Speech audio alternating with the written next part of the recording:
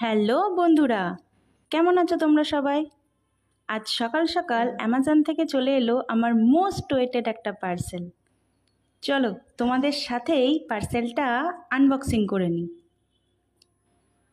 এই দেখো, ট্যান এটা হলো আমার নতুন সেলফি স্টিক কাম ট্রাইপড দাঁড়াও ওপেন করে একবার তোমাদের দেখিয়ে দিচ্ছি, ভিতরে জিনিসটা কীরকম আছে। তোমাদের সাথে, চলো, এটার একটা ক্লোজ আপ লুক দিয়ে দিই। এটা হলো মুভি লাইফের সেলফি স্টিক কাম ট্রাইপড চলো, আজ এইটুকুই। টাটা!